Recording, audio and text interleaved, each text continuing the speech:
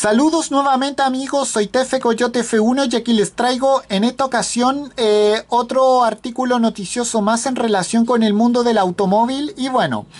ahora les voy a hablar de el nuevo... Eh, de la nueva eh, y exclusiva filial de personalización de Bugatti, o sea, el Bugatti Sur Misur. Y bueno, se puede hacer un, se puede hacer de un coche Bugatti algo mucho más exclusivo. Esta nueva eh, este nuevo departamento de la marca automotriz franco-italiana demuestra que sí, con su primera, primera creación, un Chiron, un Chiron con un eh, look bastante retro. Y bueno, vamos a hablar un poco de aquello. Bueno, aunque todavía cuesta asumirlo, la automotriz franco-italiana Bugatti tiene nuevos dueños, los cuales son Rimac y Porsche. Esta última ha demostrado en más de una ocasión que sabe rendir tributo a su coche clásico con diseños y ediciones especiales de sus coches superdeportivos de hoy en día, luciendo con los colores de algunos de sus automóviles de competición más célebres, especialmente desde que abrieron el programa eh, Porsche Thunder eh, eh, para los encargos más exclusivos como un reciente 911 GT3 vestido con como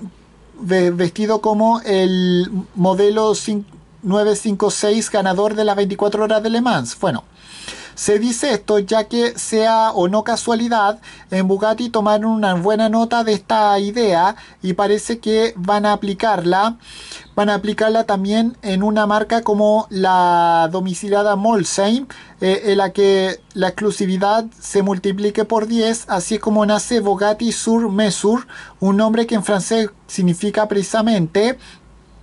a medida y que va a servir eh, para identificar al nuevo departamento de personalización de Bugatti para que sus mimísimos clientes puedan encargar eh, coches mucho más especiales y personalizados. Bueno, de hecho su primera declaración ya se muestra en las fotografías que están junto a este artículo noticioso. Se trata de un Bugatti Chiron Sport que posee un diseño de colores con inspiración de competición retro eh, con el dorsal número 32 ya que se inspira directamente en el Type 51 de competición con el que la marca automotriz franco-italiana ganó el Gran Premio Francia del año 1931 con el monegasco Louis Chiron al volante. Bueno,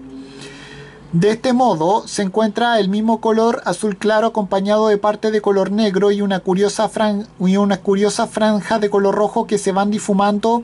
cerca de los faros frontales y que también están presentes en la parte posterior. El número 32 está pintado completamente a mano y también existen unas espectaculares llantas eh, en color negro con el logotipo ED también de color rojo. Bueno, el interior también transmite una eh, exclusividad extendida con una sección interior con, eh, con alcántara y cuero de color oscuro combinado con costuras y logotipos ED o el 32 bordados eh, también con color rojo y también posee una consola central y paneles de las puertas acabados con fibra carbono, un interior con una deportividad reforzada en el que también se, se lee la palabra Grand Prix en los umbrales. Bueno, todo, todo esto da como resultado un modelo Chiron mucho más exclusivo que eh, la versión estándar, eh, pero también mucho más costoso eh, y el stand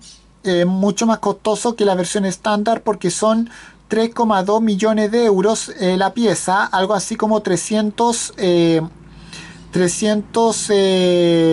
360 millones de pesos chilenos. Eh, Bugatti todavía no soltó prenda sobre lo que cuesta este modelo, pero sí habla de una asistencia personalizada durante todo el proceso de personalización, lo cual implica también un cuidado sin comparación por parte de la, de la firma automotriz franco-italiana que sin duda debe tener un precio a la altura, tanto que debe dar vértigo. Y bueno, con esto me despido, adiós como fuera chao.